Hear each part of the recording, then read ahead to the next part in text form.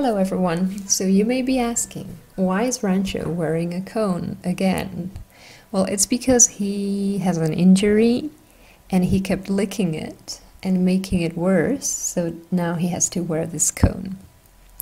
It started last weekend when I noticed a wound on his private parts it was nothing big, but it was festering and it didn't look too good. So on Monday, I took him to the vet, and the doctor didn't really like it. She checked the wound and she discovered a pocket that had formed under the skin.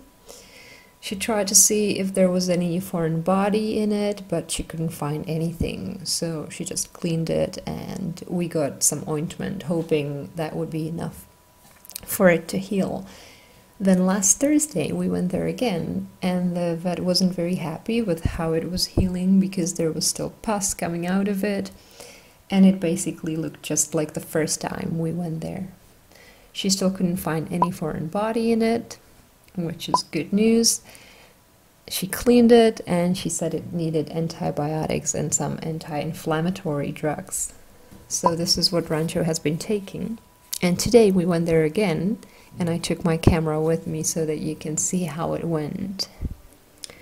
This is Rancho at the vet's office, and here I'm trying to lay him down so that the doctor can inspect the wound.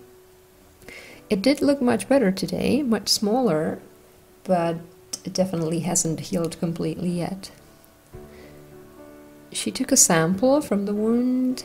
Rancho was so brave and he let her stick her forceps under the skin once again although he didn't have as much patience today as he did the first two times.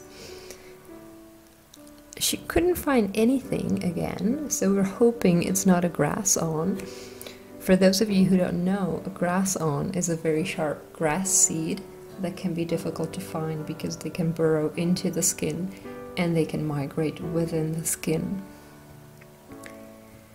If it is a grass awn, that is buried deep in the tissue, he might need surgery, but hopefully it's not.